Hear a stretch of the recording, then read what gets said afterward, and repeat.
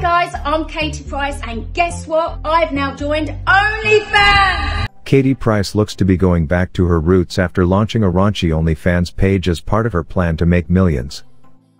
The former glamour model announced to her fans on Wednesday afternoon that she will be posting X-rated content on the subscriber-only site. Katie, 43, went live on her social media to reveal she had set up the OnlyFans page for her dedicated fans to keep up with the intimate details of her life.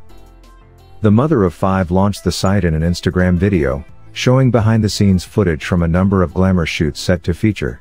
The site already looks to have a number of the exclusive images and videos for fans to enjoy, at a subscription price of $14.99, £11 and 10 pence, a month.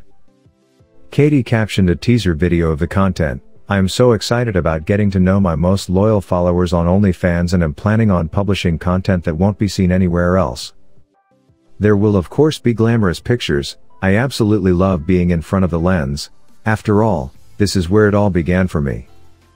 She went on to detail that she felt the site was a place she can talk about what is really going on in her life as well as share exclusive images.